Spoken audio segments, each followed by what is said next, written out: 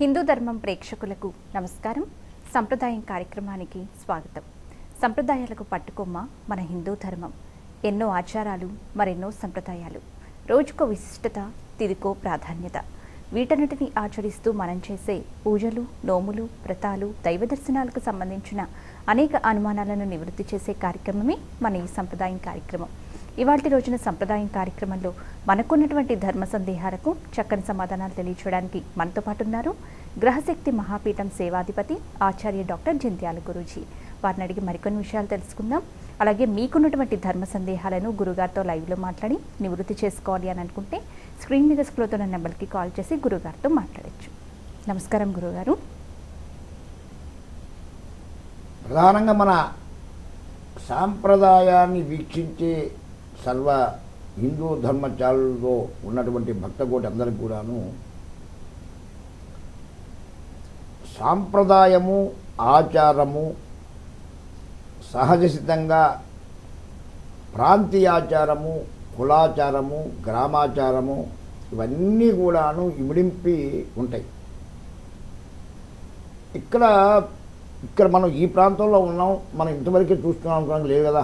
మన హిందూ ధర్మచారాలంటే అన్ని ప్రాంతాల్లో కూడా విస్తరించి ఉంటుంది కానీ ఈ ప్రాంతాన్ని గురించే మనం చెప్పుకుంటూ వెళ్ళిపోయాం అనుకోండి తక్కిన ప్రాంతాలు ఎట్లా అనే ఒక ధర్మ సందేహం నాకు నాకే కలుగుతుంది ఒక కొత్త సంప్రదాయం చెప్పేటప్పుడు. ఒక్కొక్క ప్రాంతంలో ఒక్కొక్క విధి విధానాలు అవలంబిస్తారు అది దైవ విధమే అనుకోండి లేకపోతే గ్రామ దేవతల గురించి అనుకోండి లేకపోతే మనం ఆచరించేటువంటి విషయాలు అనుకోండి ఇవన్నీ కూడాను చాలా రకాలుగా కూడా మనకు ఉంటాయి. వీటిని మనం దృష్టిలో పెట్టుకునే విశిష్టతమైన విశేషాలని మన భక్తులు మనకు తెలియజేయాలి అని ఈ మాటని ఎందుకు అంటున్నానంటే కొన్ని కొన్ని విషయాలు విన్నప్పుడు కొన్ని కొన్ని సంభాషణలు మేము చూసినప్పుడు మనం ఇటు పయనిస్తున్నామో అర్థం కాని పరిస్థితి వస్తుంది. అసలు మనం ఎటు పోతున్నాం? దావ ఎటు పోతున్నాం? ఎప్పుడైనా కూడా భక్తులు అనేవాడిని కన్ఫ్యూజ్ చేయడానికి ప్రయత్నించకూడదు. ఒక రియాలిటీని ఒక ప్రాక్టికల్గా జరిగే విషయాన్ని వాడిని విశదీకరణ చేసి వాడిని ఎడ్యుకేట్ చేయాలి. తెలియకపోవచ్చు. తెలియజేసేదానికి మనం ప్రయత్నం చేయాలి. ఏదో కాలు వస్తే మనం తీసుకోమను. కాలు తీసుకొని నాతో మాట్లాడు ఇబ్బంది లేదు. అంతేగాని ఎడ్యుకేట్ చేయకుండా వారు అడిగిన దానికి సపోర్ట్గాను మనం వెళ్ళిపోయామనుకోండి వాడు ఆ భ్రమలో ఉండిపోతాడు. దానివల్ల పోయి ఉండదు. అదే చెప్పే తప్ప అంటే తప్పు కాదు. తప్పని కూడా నేను అన్నాం. అక్కడ ఉన్నంత వరకు మోస వరకే ఉంటుంది ఆ పరిధి కానీ ఎంత చెప్పే వాళ్ళది తప్పు కాదు వినే వాళ్ళది తప్పు కాదు. రెండు తప్పులని చెప్పే వాళ్ళని తప్పును మనం ఒకరి ఏదో కరెక్ట్ చెప్తాం అనేది నేను అనుకోను. అందరూ మహనీయులే అందరూ మహాత్ములే. ఎవరిని మనం తప్పు చేయాల్సిన అవసరం లేదు. నా ఉద్దేశంలో అసలు అలా ఉండదు కూడా కాక. కానీ ఎక్కడ జరుగుతాం మనం? ఈ మోసలోనే చెప్పుకుంటూ పోతున్నాము ఆ మోస అనేటువంటి దాని నుంచి బయటికి రావాలి. ఎందుకు బయటికి రావాలి గురువుగారు అని అంటే ఏంటంటే కాలమాన స్థితిగతులు మాని. మానే గారు కాలానికి సాంప్రదాయం అనేది కాలాన్ని అనుసరించి సాంప్రదాయం మార్చుకోవాల్సిన అవసరం వచ్చింది. అంటే ఈ మాట నేను ఎందుకు నేను క్లియర్ అన్నా అంటే మన భక్తులు అర్థం చేసుకోవాలి. ఒక్క తరం ఒక తరాన్ని వెనక్కి వెళ్ళి చూడండి.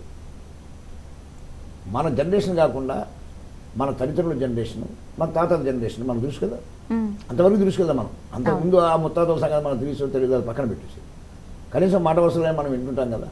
ఆ జన్ తాతల జనరేషన్కి తండ్రి జనరేషన్కి ఇప్పుడున్న జనరేషన్కి నీ పిల్లల జనరేషన్కి ఈ ఫోర్త్ జనరేషన్కి బై డిఫరెన్స్ ఎంత ఉంది చాలా ఉంటుంది నీ పిల్లలు ఇప్పుడు ఈరోజు స్మార్ట్ ఫోన్ కానీ లేకపోతే వాళ్ళు బయట నీ మాట ఏంటో నా మాట ఏంటో ఈ ఎవరి దాకా ఎందుకు మా మనవరాలు ఒకటిన్నర సంవత్సరం సరిగా లేదు ఆ పిల్లకి ఫోన్ కావాలి. అంటే జనరేషన్లో తేడా. తప్పని అన్నవాళ్ళు. దాన్ని అనుసరించి చెప్పుకుంటూ పోవాలి. కాళ్ళు తీసుకొని ఇంకా నేను మాట్లాడతాను లైన్లో ఉన్నారు గురుగారు కాలర్ కూడా. హలో. హలో. నమస్తే అమ్మా. మీ సందేహం గురుగారికి తెలియచేయండి. అట్లా. హలో. నమస్తే గురువు గారు ఆయుష్మాన్ భా చెప్తండి మేము దక్షిణ వాకిల్లి ఇంట్లో అద్దెకుంటున్నాం గురుగారు. మూడు గదులు బారుకుంటాయండి. మీరు? అద్దెకుంటున్నారా? అవునండి. ఓకే. అయితే మూడు గదులు బారుకుంటాయి. ఆగ్నేయంలో వంటగది ఉండాలి అని చెప్తున్నారు కదా. ఈ. మూడు గదులు బారుకుండేది చివరి గదిలో వంటగది వచ్చింది. అలా ఉండొచ్చా? ఎక్కడ వచ్చేది? సెంటర్ గదిలో వచ్చిందా? ఆ, వెనక వెనక్కి వచ్చింది సార్. మేము దక్షిణ వాకిలి ఉండేది. మూడు వరుసగా ఉన్నాయంటే మెయిన్ ద్వారము దక్షిణ వాకిలి అయిందా అవునండి. మెయిన్ వాకిలే దక్షిణ వాకిలి అయింది అంతే కదా? వంటగది వెనక రూమ్లో వచ్చింది నా మాట బాగా అర్థం చేసుకో. నీరైతే నీవు చెప్పేదైనా క్లారిటీగా అర్థమయ్యేట్టుగా చెప్పు. ఇప్పుడు నువ్వు ఏం చెబుతున్నావు? మూడు వరుసగా అంటే రెండు పద్ధతులు ఉంటాయి. ఒకటి ఒకదాని వెనక ఒకదానిగా ఉంటాయి. ఇటు అడ్డంగా ఉంటాయి నిలువుగా ఉంటాయి. ఇప్పుడు నిలువుగా ఉన్నాయా అడ్డంగా ఉన్నాయా? నిలువుగా ఉన్నాయి. నిలువుగా ఉన్నాయి. అది మెయిన్ ద్వారం దక్షిణ ద్వారం అయింది. దక్షిణ ద్వారం నుంచి లాస్ట్ ఉండే గదిలో వంట వంట ఉంది. అంతే కదా? అవును వంటగది దాని పక్క పక్కనే పూజకి ఒక గూడు లాగా ఇచ్చారు. ఇవ్వచ్చు? ఎప్పుడైనా? అది నా మాట బాగా అర్థం చేసుకో తల్లి. ఇప్పుడు ఇలాంటి క్లిష్ట పరిస్థితి వచ్చినప్పుడు మీరు చూసుకోవాల్సింది ఏంటంటే మీరు ఏ గది అయితే లాస్ట్ గదులు ఉంటుంది అని చెప్తున్నావో మూడో గదిగా ఉందని చెప్తున్నావో వరుస క్రమంలో ఆ మూడో గదిలో ఆగ్నేయం ఏ పక్క ఉంది ఆగ్నేయం తూర్పుగా దిశగా మనం వంట చేసుకునే అవకాశాలని కన్విన్స్ చేసుకొని పెట్టుకోవడం అని నేర్చుకోండి. సరిపోతుంది. ఏమీ తప్పు లేదంట చాలా చిన్న టెక్నికల్గా దాన్ని మీరు ఆలోచించుకోవడమే. ఇప్పుడు అది లాస్ట్ గది. మీరు ముందు రెండు గదుల సంగతి గురించి ఆలోచించవాకండి దక్షిణ వాకిలి కదా ముందు పక్కకి ఆగ్నేయం ముందు పక్క ఉంటుందనే మాట మర్చిపోండి మీరు అసలు దాని గురించి అసలు మనసావాచ కర్మను కూడా రానివ్వకండి. లాస్ట్ గది ఒకటే మీ గది అని. ఆ గదిలో దక్షిణం ఏ సైడ్ ఉందనేది మీకు అర్థమై ఉంటుంది. ఆ దక్షిణాయించి తూర్పుగా వంట నిలబడి మనిషి నిలబడాలంటే తూర్పు నిలబడి ఉండాలి. ఆ ఉన్న దాంట్లో ఆగ్నేయంలో తిప్పుకొని వంట మీ ఉన్నటువంటి గ్యాస్ సిలిండర్ పొయ్యి అవి పెట్టుకోండి. ఈశాన్య భాగంలో దేవుడి మంత్రం పెట్టుకోండి. అయిపోయి అయిపోయింది. ఇంకా దానికి ఎటువంటి తప్పు లేదు. మీరు ఎలాంటి ఆలోచన చేయాల్సిన అవసరం లేదు. చాలా ఈజీ ప్రశ్న ఇది. అవునా? ఇంకొక మాట. అయితే ఖాళీ చెయ్యాలి ఇల్లు అనుకుంటే మేముండే ఇంటికి వెనక రోడ్లోకి వెళ్ళొచ్చా ఏంటమ్మా? ఇప్పుడు ఇల్లు ఖాళీ చేయాలి అనుకుంటే ఉన్న ఇంటికి వెనక వైపు భాగంలోకి వెళ్ళొచ్చా. ఏమండి మీరు ఎంత అమాయకంగా అడుగుతున్నారో తెలుసా? ఇప్పుడు దక్షిణానికి ఆపోజిట్ అనేది ఏమవుతుంది? దక్షిణానికి ఆపోజిట్ ఏమవుతుంది? ఉత్తరం అవుతుంది. అవునా? అవును. ఉత్తరానికి పోవడానికి తప్పే ఉంటుంది. దాన్ని అడగాల్సిన అవసరం ఏం లేదు. హండ్రెడ్ పర్సెంట్ పోవచ్చు. అంటే ఎవరో చెప్పారులే గురుగారు అవన్నీ చెప్తుంటారమ్మా చెప్పే వాళ్ళకి దండం నమస్కారం చేద్దాం. మనం చెప్పే వాళ్ళ గురించి ఇప్పుడు నాకెందుకు కానీ ఆ గోల? నీవు నువ్వు ఆలోచించుకో. నేను చెప్పేదాంట్లో ఉత్- నువ్వు దక్షిణంలో ఉన్నావు. దక్షిణానికి ఉత్తరానికి పోవడం తప్పేం ఉండదు. ఆ ఇంటికి వెనక. ముందా అనేది కాదు ఆలోచించుకోవాల్సింది. దానికి వెనక అంటే ఏమవుతుంది నీకు? ఆపోజిట్ అయిపోతుంది. దక్షిణానికి ఆపోజిట్ ఏముంటుంది ఉత్తరం ఉంటుంది. ఉత్తరానికి పోవడానికి తప్పే ఉంటుంది? ఉత్తరానికి దక్షిణ అవడం తప్పు అవుతుంది. ఏం ఇబ్బంది లేదు తల్లి. ఎవరో చెప్పారు వెనక పక్క పోకూడదు ముందు పక్క పోవాలా? ఆడ వసతి లేకుండా ఎందుకంటే మీకు ఈ మాటలు? వసతులు బట్టి మీరు వెళ్ళండి. మీ యొక్క గ్రహానుగ్రహం మీద మీ జీవితం నడుస్తుంది తప్ప మీరు అటుపోయినంత వల్ల ఇటుపోయినంత వల్ల ఏ ఇబ్బందులు రావు. హ్యాపీగా వెళ్ళండి హ్యాపీగా ఉండండి. శుభం. మరో కాలర్ లైన్లో ఉన్నారు గురువుగారు. హలో గురువుగారు కాల్ కట్ అయిందండి. మరి అదే ప్రకారంగా ఇప్పుడు ఇప్పుడు ఆ అడిగిన ప్రశ్నకి నువ్వు సమాధానం చూసుకోమ్మా. ఇవే ఇప్పుడు నేను చెబుతుంది. కాలానుగుణ్యంగా కాలాన్ని అనుసరించి మన యొక్క సాంప్రదాయాలను ఎలా సమర్థించుకోవాలి దాని మీద ఇప్పుడు నీకు అర్థమై ఉంటుంది పాయింట్. ముందు మూడు గదులు బారు. ఇప్పుడు ఆమె అట్ట కాదు అట్ట ఉండకూడదంటే ఆమె పరిస్థితి ఏంటి? ఈ మహానగరంలో మహాపట్నంలో ఇల్లు దొరుకుతాయా? ఈజీనా? అందులో సామాన్యుడికి అన్ని వసతులు కూడిట్టుగా జరగాలంటే అయ్యే పనులేనా? దానికి ఏం చెప్పాను నేను? టెక్నిక్గా ఇబ్బంది లేకుండా శాస్త్ర సాంప్రదాయానికి తప్పు పడకుండా వాస్తులో దోషం రాకుండా ఉన్నదాంట్లో చూసుకోమని చెప్పగలిగాను. అలా చెప్పాలంట అంతే. ఇప్పుడు ఇంటికి ఏముంది? ఉత్తరానికి వెళ్ళేదానికి తప్పని ఎవరో చెప్పింది వెనక పోకూడదు. అదే వాళ్ళే మళ్ళీ అవే అవే తప్పు అవుతాయి వాళ్ళకి అవకాశం అక్కడ వచ్చింది. దాని గురించి ఎందుకు డిస్కషను? సాంప్రదాయంలో ఎప్పుడు కూడా మనం విరుద్ధమైన ప్రశ్నలు మూఢనమ్మకాలకు వెళ్ళినప్పుడు ఇబ్బందులు పడుతుంటాం. ఆ పద్ధతిని అనుసరిస్తూ సాంప్రదాయాన్ని మనం పోగొట్టకూడదు. సాంప్రదాయం అనుసరిస్తూ ఇప్పుడున్నటువంటి సమాజంలో ఇప్పుడు జరుగుతున్నటువంటి పరిస్థితులు వాళ్ళకు కూడా ఉన్నటువంటి విశేషమైన వారికి ఉన్నటువంటి కార్యసిద్ధిని బట్టి దాని అనుకూలంగా మలుచుకొని చేసినప్పుడు ఎవరికి ఎటువంటి నష్టం రాదు ఇబ్బంది జరగదు. దీని సాంప్రదాయం వదలపెట్టమని చెప్పడం లేదు అని మోడరేట్కి వెళ్ళమని చెప్పడం లేదు. మోడరేషన్లో సాంప్రదాయాన్ని మోడరేట్ చేసుకోవాలి. చేసుకుంటే ఎవరికైనా కూడా మంచి జరుగుతుంది అనేది నా యొక్క లక్ష్యం అనమాట ఇకపోతే రెండోది ఇందాక నేను చెప్తున్నప్పుడు ఈ యొక్క సాంప్రదాయము ఈ ఆచారాలు వ్యవహారాలు ఎంతవరకు ఉన్నాయి అనే దాన్ని మనం గ్రహించాలి. మనకు పూర్వ రోజుల్లో మహనీయులు చెప్పిన ఏ వాక్యం కూడా తప్పు కాదు. నీ తప్పని భావించడం ఎందుకంటే సర్వశాస్త్రాలు వాళ్ళు రాసిన నుంచి మనం చదువుకొని వాళ్ళు తప్పని చెప్పేంత స్థాయి మనకెక్కడి నుంచి వస్తుంది? అది కరెక్ట్ కాదు. కానీ మనం ఇప్పుడు ఎగ- ఎంతవరకు చెబుతున్నాం ఏ పద్ధతిలో ఉందనేది దేశాన్ని ఒక తల కలిసి చూసి కలిసి చూసి చెప్తేనే అది కరెక్ట్ ఉంటుంది.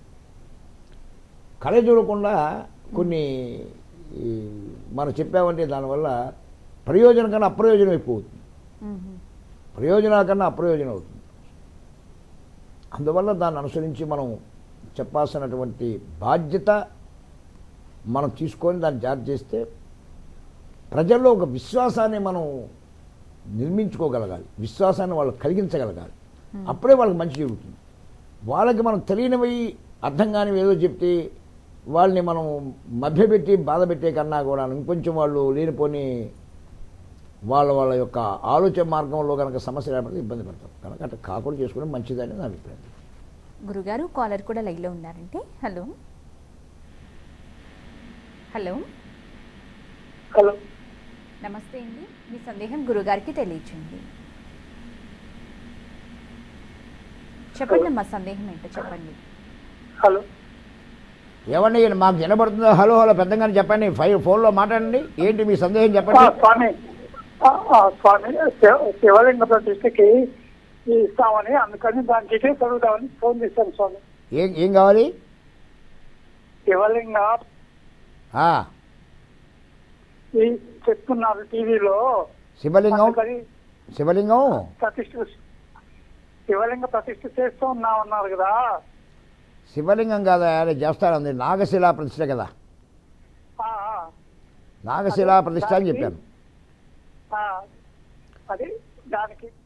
దాని గురించి ఈ ఫోన్లో ఈ సందేహాలు కదా అడగాల్సింది. దానికి సంబంధించిన నెంబరు వేరే నెంబర్ ఉంటుంది. ఆ నెంబర్ వాళ్ళతో మాట్లాడితే మీకు అన్ని విషయాలు చెప్తారు. వచ్చి మీరు నరసింహ క్షేత్రం చేసుకోవచ్చు. అక్కడికి ఆ దానికి సంబంధించిన నెంబర్ ఉంది. దాన్ని కనుక్కొని వారితో మాట్లాడండి. ఆ శివ ప్రతిష్ఠ చేయాలన్నా శివలింగ ప్రతిష్ఠ చేయాలన్నా నాగశిల అవన్నీ వేరే విషయాలు. ఇక్కడ ఏదైనా ధర్మ సందేహాలకి ఆ యొక్క సాంప్రదాయ సందేహాలకు మాత్రమే ఇప్పుడు నేను ప్రస్తుతానికి జవాబు చెప్పాలి. శుభం నాయన. గురుగారు మన సంప్రదాయం ప్రకారము ప్రతి ఒక్కరూ కూడా తిలక ధారణ తప్పనిసరిగా చేయాలని చెప్తూ ఉంటారు కదా. మరి అసలు ఎలాంటి తిలకాన్ని మనం ధరించాలి? ఎలాంటి తిలక ధారణ చేయటం వల్ల శుభ ఫలితాలు కలుగుతాయి గురుగారు? నా మాట ప్రకారంగా అయితే కొంచెం కఠినంగా ఉంటుంది బాధగా ఉంటుంది వినేవాళ్ళకి చూసేవాళ్ళకి అందరికి కూడా. తిలకధారణ చెయ్యటము అనేది ఇప్పుడున్న పరిస్థితుల్లో ఇప్పుడు వస్తున్న తిలకం అనే సబ్జెక్ట్లోకి వెళ్తే మనం దాన్ని మనం విమర్శన దృష్టికి వెళ్ళిపోతుంది. కాబట్టి దాని గురించి నేను మాట్లాడటం అప్రమత్తం అవుతున్నాను. తిలక ధారణ అని అంటే తిలకం అంటే ఏంటి ఇప్పుడు ఇప్పుడు బదాల మీరు తిలకమా? దాంట్లో గోగుల్ తిలకమని ఎర్ర తిలకమని అలాగే కూడాను మామిడి ఆకు చిగురు తిలకమని ఇలా చాలా వస్తున్నాయి కదా. చింతాకు చిగురు తిలకమని ఎన్నో రకాలు ఉన్నాయి. అవునా? ఆ తిలకం పెట్టమని ఏం చెప్పలేదే మన వాళ్ళు సాంప్రదాయంలో. తిలకము అని అంటే అంటే నిలువుగా ఉన్నది తిలకము అంటారు. బొట్టు అంటే రౌండ్గా ఉండేది బొట్టు అంటారు. అది దానికి ఉన్న అర్థం. కానీ అది ఏతో పెట్టినా కూడా సుసజ్జితమైనటువంటి కుంకంతోనే పెట్టాలి. కుంకుమ ఎట్ట తయారు చేయాలి? ఆవు పిడకల ద్వారా నిమ్మ రసం ద్వారా దాన్ని తయారు చేయాలి. ఇవి జరుగుతున్నాయా? ఇక నేను పెట్టమన్నమని చెప్పమంటావా? నువ్వు వద్దని చెప్పమంటావా? నువ్వు ఈ ప్రశ్న వేసావు బాగానే ఉంది. ఇప్పుడు నేను భక్తులకి ఏమని చెప్పమంటావు నన్ను? తిరగదానం చేయడం చాలా గొప్ప విశేషం అండి. దానికి మీకు ఒక వచ్చేసి వస్తుంది బ్రహ్మకుండలం వస్తుంది. బ్రహ్మకుండలం మధ్య బొట్టు పెట్టినట్టు అయితే మనకున్నటువంటి ఎన్నో నరాలకి అది ఇంప్లిమెంట్ అవుతుందని అని చెప్తాను ఉంటాం. అవునా? ఇది ప్రతి దాంట్లో వినే మాటలే. నన్ను ఎక్కడ చెప్పమంటావు ఆ మాటలన్నీ? అది జరగదలా చూస్తూనే కూడా మీరు పెట్టుకోండి. నేను చెప్పడానికి నా ఇష్టపడను. మీరు బొట్టు పెట్టుకుంటారో పెడతారో పెట్టకపోతారో అది పక్కన పెట్టండి. చివరికి బొట్టు బిళ్ళలు కూడా వచ్చేసినాయి కదమ్మా.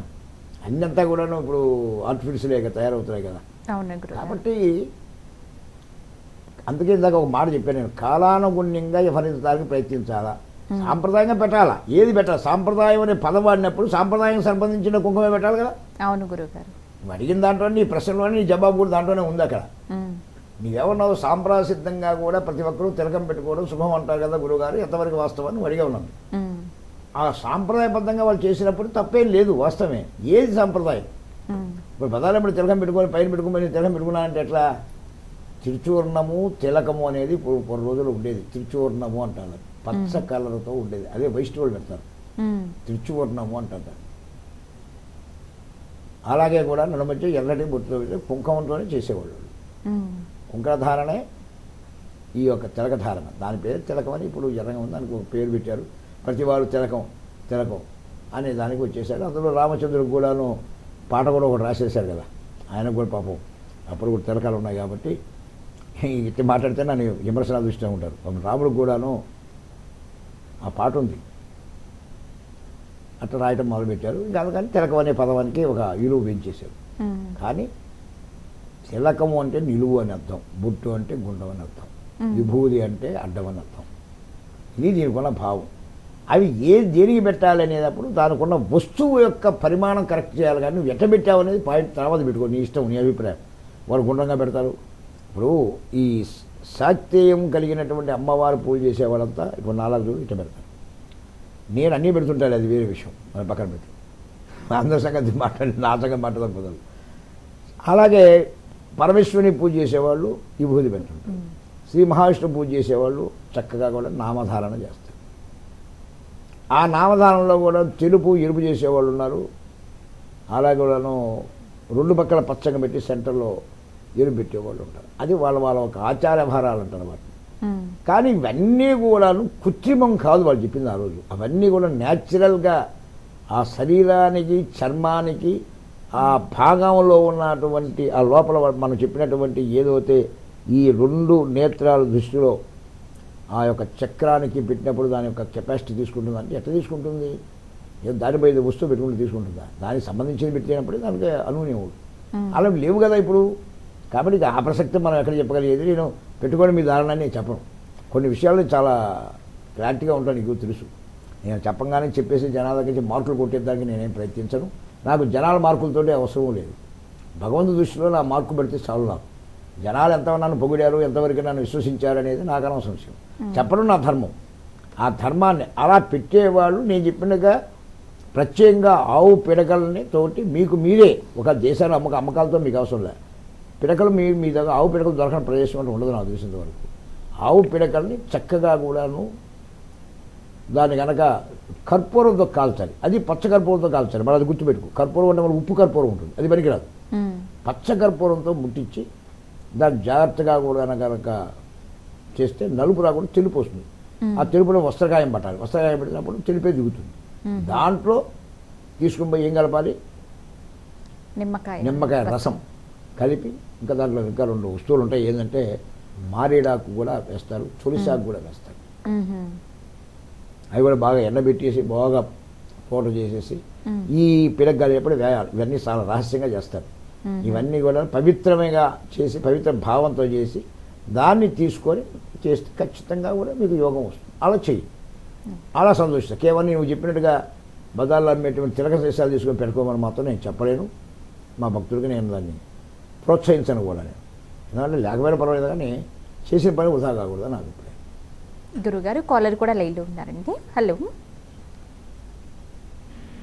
హలో. హలో నమస్తే. నమస్తే అమ్మా. మీ సందేహం గురుగారికి తెలియచేయండి. నమస్తే గురుగారు. ఆయుష్మాన్ భవతాలు తెలియ చెప్పమ్మా. మా మా దొడ్లో వెనక పక్క ములగ చెట్టు ఉందండి. ఉండొచ్చా లేదని మునక్కాయలు కోసుకొని తింటున్నానే తింటం లేదా రోజు? తింటున్నామండి ఇంకేం తింటున్నా? ఇప్పుడు ఎన్నాళ్ళ నుంచి ఉందమ్మా మునగ చెట్టు? చాలా ర- సంవత్సరాల నుంచి ఉందండి. చాలా అంటే సుమారు. పడవరి పక్క ర- నాలుగైదు సంవత్సరాల నుంచి ఉంది. ఇప్పుడు ఈ నాలుగైదు సంవత్సరాల్లో మీకు కలిగిన నష్టం ఏంటి? అంతకుముందు మీకు కలిగిన లాభం ఏందో ఒక తర్వాత చెప్పు నాకు.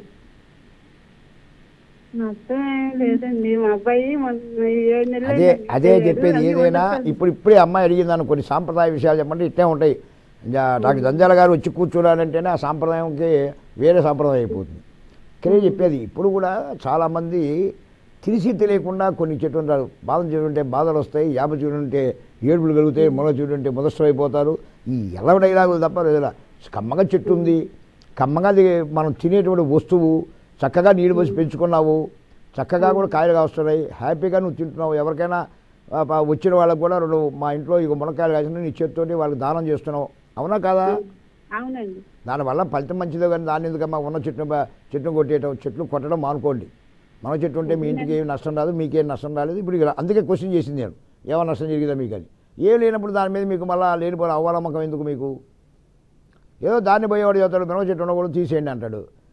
చెట్టును తీసేయడం ఎంతసేపు పడుతుంది సెకండ్? ఆ చెట్టు పెద్దంటే అన్నాలు పడుతుంది నీకు? అవునా కాదా అమ్మా? అవునండి గురుగారు అదే కా- సందేహం. కాబట్టి చక్కగా దానం చేస్తున్నావు. చక్కగా కూడా దానివల్ల నీకు ఫలితం మంచిది ఉంటుంది నీ ఇంట్లో నువ్వు తింటున్నావు. చక్కగా ఎవరో ఇంటికి వచ్చినటువంటి వాళ్ళు ఎవరికైనా సరే బ్రాహ్మణ లేకపోతే ఇంకోటి వాళ్ళు ఎవరైనా కాదు ఎవరు వచ్చినా కూడా నీ బంధుమిత్రులకో స్నేహితులకో ఇతులో ఇంటికి వచ్చిన ఇవి నాలుగు కాళ్ళు తీసుకుమంటారు వాళ్ళు. అసలు మునక్కాయ పులుసు అంటేనే అందరం ఎగబడి తింటాం మనం దానికి ఉన్న రీజనే ఇది? అన్నిటికన్నా కూడా మునక్కాయ పులుసు అంటే అది ఎందుకు దానికి తెలియనటువంటి ఒక ఒక తీయదనం దానికి ఒక ముదురం అనేది ఏర్పడుతుంది జల్లగా. అది అన్నిటికీ సైన్స్కి కూడాను మునక్కాయకి చాలా లింక్ ఉంది. అంటే ప్రతి చెట్టుకు ఉంటుంది అందులో మునక్కాయ కూడా బలమైనటువంటి తత్వం ఉంది.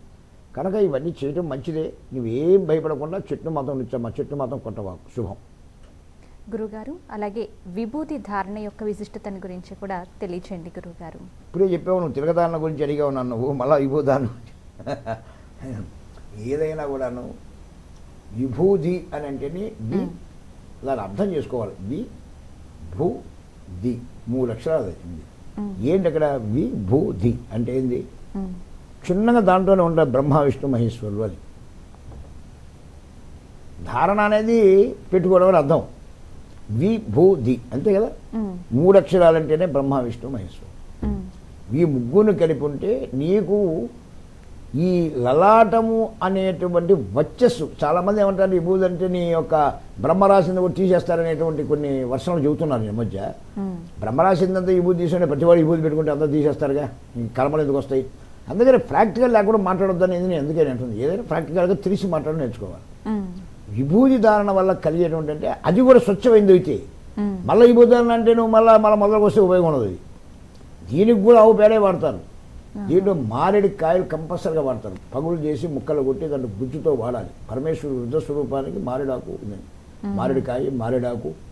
ఈ కంపల్సరీ దాని మీద కప్పి చేయాలంటే ఆ పిడకల మీద ఇదే వాడాలి. ఈ తీసి కనుక ఆ మొహాన్ని పెడుతున్నప్పుడు వచ్చస్సు పెరుగుతుందని అర్థం. ఒక వచ్చస్సు నీవు మాట్లాడుతున్నప్పుడు నేను మాట్లాడుతున్నప్పుడు అవతల వ్యక్తి ఆ మాటని నెగిటివ్గా తీసుకోకుండా పాజిటివ్గా తీసుకొని ఒక మంచి యోచన చేసేదానికి అది అవకాశం కల్పిస్తుంది ఈ భూతి అని. అందుకని అడ్డంగా ఎందుకు ఉంది నిలువుగా విష్ణునామాలు ఎందుకు ఉంది దాని మీద ఇంకో తర్వాత వచ్చినప్పుడు చెప్తాను ఈ టైం చాలు చాలా పెద్ద స్టోరీ అది. అడ్డంగా ఎందుకు ఉంటుంది మ్మ్. నిలువుగా ఎందుకు ఉంటుంది నిలువు నామాలు అవి ఎందుకు? అడ్డనామాలు ఇవి ఎందుకు? అడ్డాలు నిలువు లేకపోతే ఇల్లే లేదు. ఈ రోజు ఉన్నటువంటి నీ యొక్క బిల్డింగ్ కూడా లేదు. ఉందా లేదా? అడ్డము నిలువు రెండు ఉంటాయి. ఎక్కువ చూసుకోండి కావాలంటే. ఒకప్పుడు వాసాలు ఉండేవి ఉండేవి. బద్దలని ఉండేవి. ఇప్పుడు అదే నువ్వు మూస కడతాం కదా మనం. ఇది రాటితో కడతాం కదా? దానికి అడ్డాలు నిలువులు ఉండేయకుండా ఏమైనా ఇల్లు స్లాబ్ పోయికెళ్ళా లేదు ఈ రెండు అదే సూచించారు. ఈ రెండు లేకపోతే ఏమీ లేదు రా. అని. ఏమండి చెప్పుకోలే కానీ దీనికి అంతరార్థాలు ఇంత ఉంటాయి. మనం ప్రజలకి ఏది ఎడ్యుకేట్ చేయాలో చెప్పలేకపోతున్నాం. చెప్పకుండా కేవలం విభూతి రాసుకుంటే నీకు దరిద్రత పోతుంది. పూర్వం నీకు ఎన్ని పాపాలు చేసినా కూడా బ్రహ్మ నీము నీకు దరిద్రం రాసినా కూడా విభూతి పెట్టుకోగానే దరిద్రం మొత్తం ఈశ్వరుడు చేస్తారు ఎందుకని ఈ మాటలు? ఎక్కడ చేస్తారు ఎవరు తీసేయలేదు. అసలు బ్రహ్మ రాసేది లేదు ఇది తీసేది లేదు. రెండూ జరగవు. విభూతి వల్ల కలిగేదంటే దాంట్లో ఉన్న వైబ్రేషన్ పవర్. దేంట్లో ఉన్నది? ఆవు పిడకల్లో. అలాగే కూడా నేను చెప్పిన పచ్చకర్పూరం అలాగే కూడాను సంపూర్ణమైనటువంటి మారేడాకు మారేడుకాయలు వీటింట్లో నుంచి వచ్చేటువంటి ఒక శక్తి ప్రభావితం మీద ఒక ఆకర్షణ యోగ్యత కలిగించుకునే అవకాశం కలుగుతుంది. అది కూడా నోటి దొరత లేకుండా మాట్లాడితే. మళ్ళీ నోరు కనుక సరిలేదంటే మళ్ళా ఈ బూది రాసినా ఇబ్బంది వస్తుంది ఇంకోటి రాసినా కూడా ఇబ్బంది వస్తుంది. ఈ కొంత అర్థం చేసుకోవాలి. అర్థం చేసుకోకుండా మనం ఎట్లాంటి వ్యర్థంగా చేసామంటే దానివల్ల ఇబ్బంది పడటమే కాదు అవమానానికి గురవుతుంటున్నాం మ్మ్. మన వ్యవస్థలో మనం ఇప్పుడు పోతుంది ఎప్పుడు కూడా నా వాళ్ళు బాధపడేది ఒకటేనమ్మా. వ్యవస్థలో ఇబ్బంది జరుగుతున్నది వ్యవస్థలో మనం ఇబ్బంది పడుతున్నారు అని ప్రతి ప్రజానికం మొత్తం ఇబ్బంది పడుతున్నాము.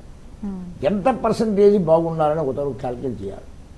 ఇవాళ ఎడ్యుకేషన్ పెరిగింది అది పెరిగింది ఇది పెరిగింది అన్న. కానీ దారిద్ర్యం కూడా అంతకన్నా ఎక్కువ పెరుగుతూ వస్తుంది మనం అవునా కదా? దాన్ని నివారణ